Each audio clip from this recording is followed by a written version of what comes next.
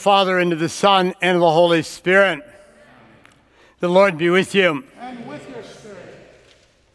Jesus is the bread of life given to us as our everlasting food. We pray during this Eucharist to come to a deeper relationship with Jesus and ask forgiveness for times we have not responded to his gift of himself. Lord Jesus, you are the true bread from heaven. Lord, have mercy. Lord, have mercy. Christ Jesus, you are the bread that brings everlasting life. Christ, have mercy. Christ, have mercy. Lord Jesus, you are the bread that satisfies all hunger. Lord, have mercy. Lord, have mercy. May Almighty God have mercy on us, forgive us our sins, and bring us to everlasting life. Amen. Glory to God in the highest, and on earth peace to people of good will. We praise you, we bless you, we adore you, we glorify you, we give you thanks for your great glory. Lord God, Heavenly King, O God, Almighty Father, Lord Jesus Christ, only begotten Son, Lord God, Lamb of God, Son of the Father, you take away the sins of the world, have mercy on us. You take away the sins of the world, receive our prayer. You are seated at the right hand of the Father, have mercy on us. For you alone are the Holy One, you alone are the Lord, you alone are the Most High, Jesus Christ, with the Holy Spirit, in the glory of God the Father. Amen. Let us pray.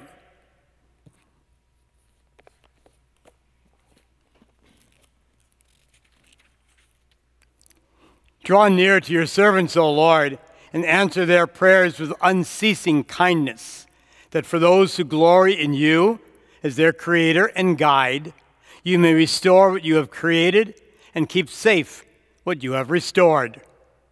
Through our Lord Jesus Christ, your Son, who lives and reigns with you in the unity of the Holy Spirit, one God, forever and ever. Amen. A reading from the book of Exodus. The whole Israelite community grumbled against Moses and Aaron. The Israelites said to them, Would that we had died at the Lord's hand in the land of Egypt? As we sat by our flesh pots and ate our fill of bread. But you had to lead us into this desert to make the whole community die of famine. Then the Lord said to Moses, I will now rain down bread from heaven for you. Each day, the people are to go out and gather their daily portion. Thus will I test them to see whether they follow my instructions or not. I have heard the grumbling of the Israelites. Tell them, in the evening twilight you shall eat flesh, and in the morning you shall have your fill of bread, so that you may know that I, the Lord, am your God. In the morning, in the evening, quail came up and covered the camp. In the morning, a dew lay all about the camp. And when the dew evaporated, there on the surface of the desert were the fine flakes, like hoarfrost on the ground. On seeing it, the Israelites asked one another, What is this? For they did not know what it was. But Moses told them, This is the bread that the Lord had given you to eat. The word of the Lord. Thanks be to God.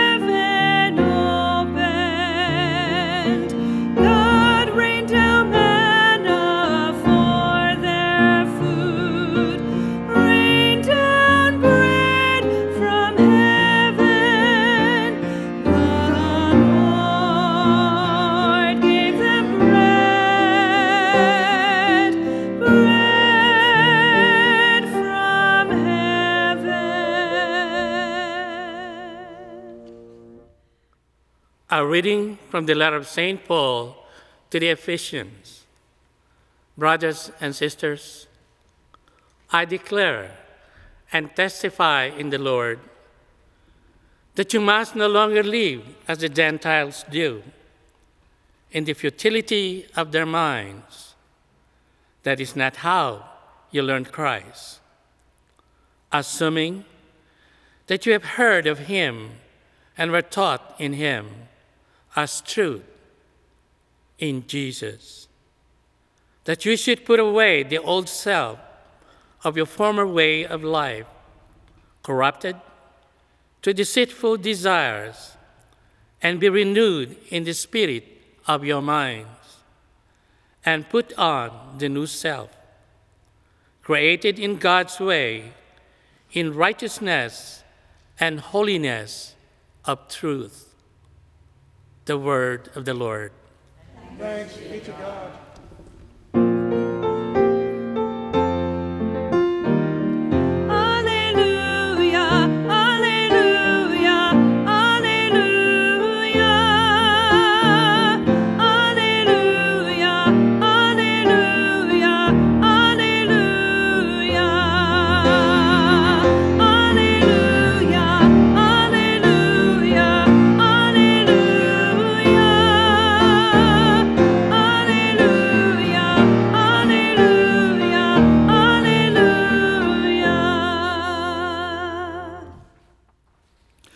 Lord be with you.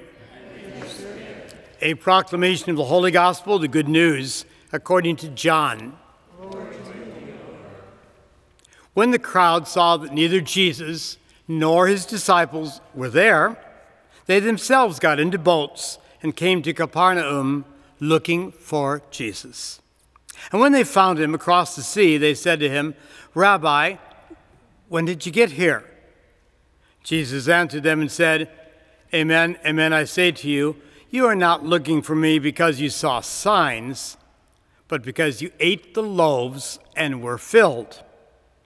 Do not work for food that perishes, but for the food that endures for eternal life, which the Son of Man will give you.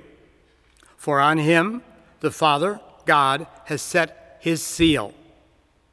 So they said to him, What can we do to accomplish the works of God? Jesus answered and said to them, This is the work of God, that you believe in the one he sent. So they said to him, What sign can you do that we may see and believe in you? What can you do? Our ancestors ate manna in the desert, as it is written, He gave them bread from heaven to eat. So Jesus said to them, Amen, amen, I say to you, it was not Moses who gave the bread from heaven. My Father gives you the true bread from heaven. For the bread of God is that which comes down from heaven and gives life to the world. So they said to him, Sir, give us this bread always. Jesus said to them, I am the bread of life. Whoever comes to me will never hunger, and whoever believes in me will never thirst. The Gospel of the Lord.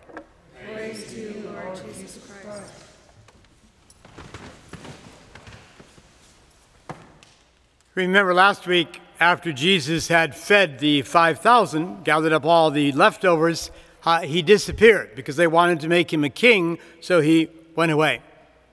Now they go looking for him. That's when the gospel of today begins. And finally, they found him, and they're amazed at how he got there. And then Jesus knows why they're there. He said, You're looking for me because I just fed you. Other words, they're saying, if we stay close to this Jesus, we will never have to go to the grocery store ever again and buy food. He's our free meal ticket. And Jesus said, No, that's not the bread I'm talking about. Then they say, Well, show us something that we might put our trust in you. Show you something. He just fed 5,000 people from five loaves and a couple of fish. Isn't that miracle enough? They said, No. Our Moses gave us food from heaven every day for 40 years. We called it manna. And Jesus said, Yeah, but that bread wasn't from Moses, it was from God. But people ate it and they all died. I have a different type of bread. They still didn't understand.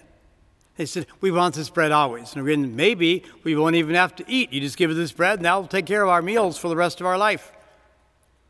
And finally makes it very clear I, Jesus speaking about himself, I am the bread of life. If you feed on me, you'll never hunger. If you come to me, you'll never thirst. The continuation of this chapter is over the next three Sundays, and Jesus explains over and over again that he is the bread of life. And even the apostles, I'm sure, didn't understand exactly what he meant. Maybe at the Last Supper. When the Last Supper, he then held up the matzah bread from the Passover meal and said of that, This is my body. And he held up the kosher chalice of wine and said, This is my blood. Maybe then their eyes and their hearts were opened. How lucky we are. We believe, I hope we believe, that the body and blood of Christ is truly present on the altar each time we attend Mass. That is a beautiful sign. In fact, another word for sign in Latin is sacrament, sacred sign, a sacred thing. The Eucharist is the sacrament, the sacrament of the living body and blood of Christ. And so, if we bring Christ into us on a regular basis, Sunday after Sunday, and many of you probably go during the week as well, then we bring Jesus inside of us. Why? So we can bring him out there. We are dismissed at the end of every Mass. Go in peace to love and serve the world. What happened here in the church, now take it out to the world. We don't receive the body of Christ, we become the body of Christ.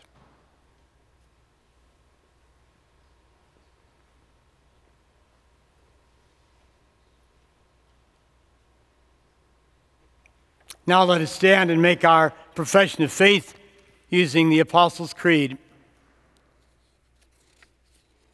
I believe in God, the Father Almighty, creator of heaven and earth, and in Jesus Christ, his only Son, our Lord, who was conceived of the Holy Spirit, born of the Virgin Mary, suffered under Pontius Pilate, was crucified, died, and was buried. He descended into hell. On the third day, he rose again from the dead. He ascended into heaven and is seated at the right hand of God, the Father Almighty. From there, he will come to judge the living and the dead. I believe in the Holy Spirit, the Holy Catholic Church, the communion of saints, the forgiveness of sins, the resurrection of the body, and life everlasting. Amen. God gives the gift of Jesus to be the bread of life and the cup of salvation, nourishing and sustaining us. And so we pray. that all members of the church come to a deeper understanding of Jesus' gift of himself to us as the bread of life. We pray to the Lord. Lord, hear our prayer. That all people of the world be nourished as they seek fuller life. We pray to the Lord. Lord, hear our prayer. That those who lack the basic necessities of life receive from those who have been given the bread of life. We pray to the Lord. Lord, hear our prayer. that all of us seek Jesus with all our hearts and make known to others his gift of presence and nourishment. We pray to the Lord. Lord, hear our prayer. God of blessings, you send bread from heaven so we might have eternal life. Give us this bread always. We ask this through the bread of life, Jesus Christ, our Lord.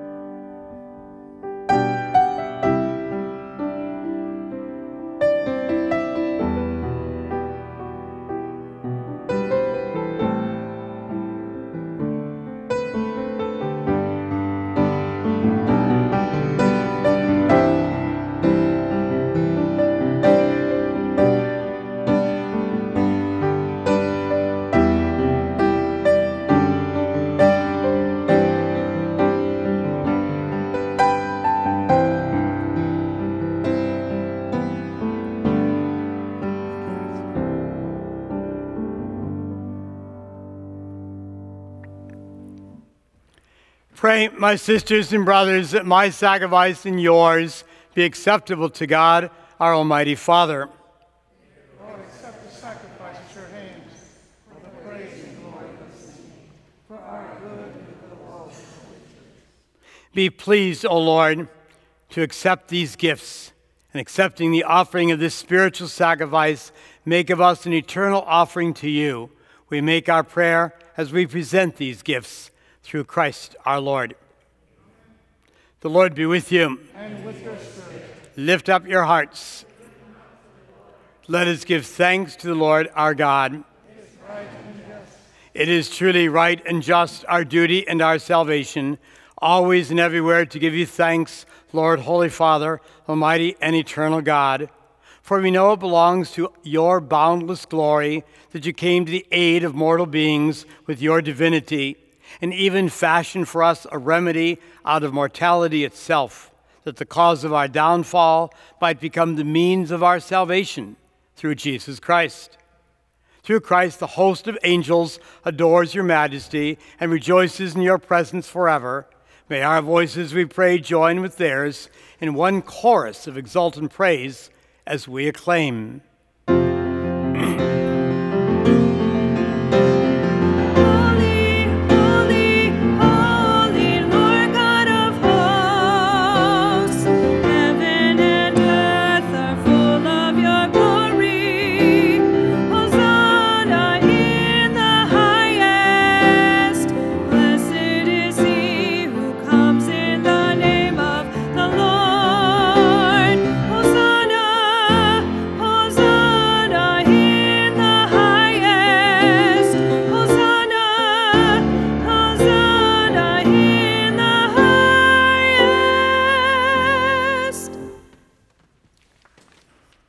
Are indeed holy, O Lord, and all you have created rightly gives you praise. For through your Son, our Lord Jesus Christ, by the power and working of the Holy Spirit, you give life to all things and make them holy. And you never cease to gather a people to yourself, so that from the rising of the sun to its setting, a pure sacrifice may be offered to your name.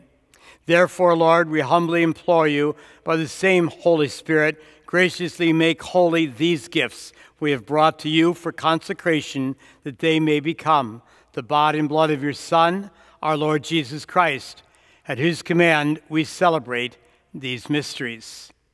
For in the night he was betrayed, Jesus took bread, and giving you thanks, he said the blessing, broke the bread, and gave it to his disciples, saying, Take this, all of you, and eat of it, for this is my body, which will be given up for you.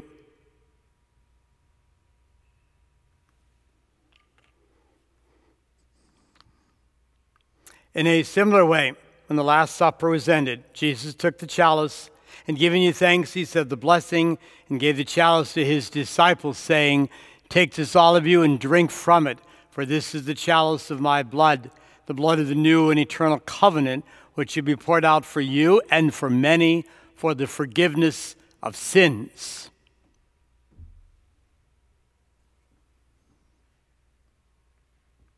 Do this in memory of me, the mystery of faith.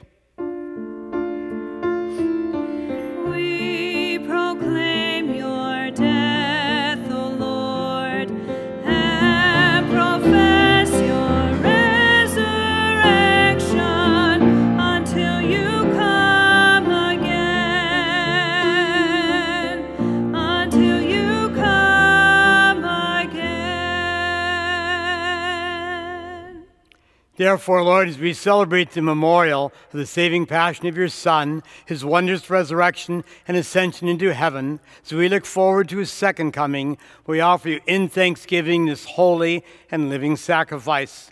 Look, we pray upon the oblation of your church, and recognizing the sacrificial victim by whose death you will to reconcile us to yourself.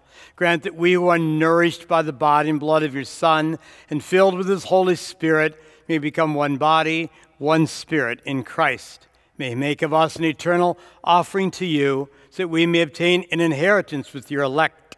especially with the most blessed Virgin Mary, Mother of God, with blessed Joseph, her spouse, with your blessed apostles and glorious martyrs, and with all the saints on whose constant intercession in your presence we rely for unfailing help.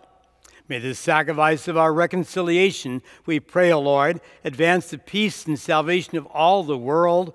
Be pleased to confirm in faith and charity your pilgrim church on earth, with your servant Francis, our Pope, and Joseph, our Bishop, the order of bishops, all the clergy, and the entire people you have gained for your own. Listen graciously to the prayers of this family whom you have summoned before you. Your compassion, O merciful Father, gather to yourself all your children scattered throughout the world. To our departed sisters and brothers, and to all who are pleasing to you at their passing from this life, give kind admittance to your kingdom. There in that kingdom, we all hope one day to enjoy forever the fullness of glory through Christ our Lord, through whom you bestow on the world all that is good.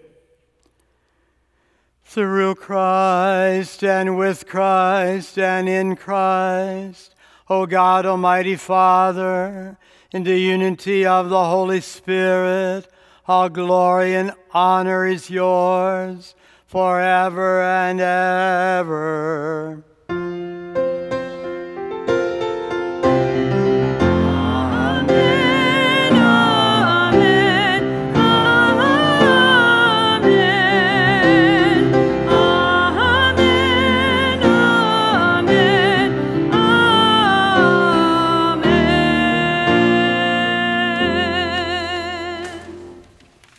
Now let us pray as Jesus taught us. Our Father, who art in heaven, hallowed be thy name. Thy kingdom come, thy will be done, on earth as it is in heaven. Give us this day our daily bread, and forgive us our trespasses, as we forgive those who trespass against us. And lead us not into temptation, but deliver us from evil. Yes, Lord, deliver us from every evil and grant us peace in our day. In your mercy, keep us free from sin, protect us from danger, doubts, and anxiety as we wait in joyful hope for the coming of our Savior, Jesus Christ. Are yours now and forever. Lord Jesus Christ, you said to your apostles, I leave you peace, and my peace I give you. Do not look in our sins, look in our faith, our goodness. Grant us the peace and unity of your kingdom, where you live and reign forever and ever. The peace of Jesus Christ be with you always. And with. Let us share with each other a sign of peace. Lamb of God, you take away the sins of the world. Have mercy on us. Lamb, Lamb of God, you take away the sins of the world. Have mercy on us. Lamb, Lamb of God, you take away the sins of the world. Grant us peace.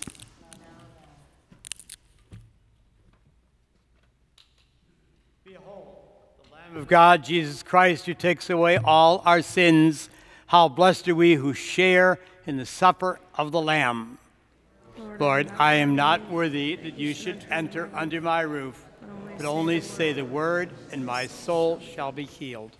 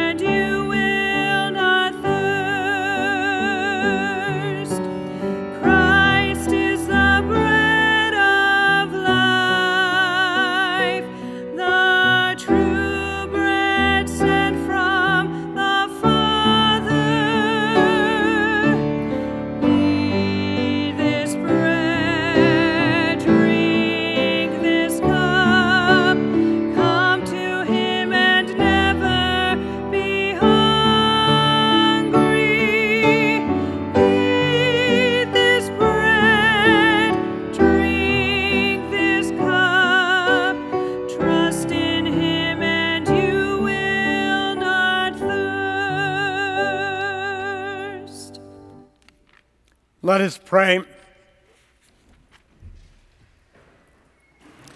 Accompany with constant protection, O Lord, those you renew with these heavenly gifts, and in your never failing care for them, make them worthy of eternal redemption. We make our prayer through Christ our Lord. Amen.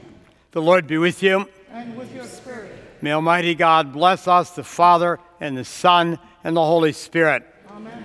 Our Mass is ended. Let us go in peace. Thanks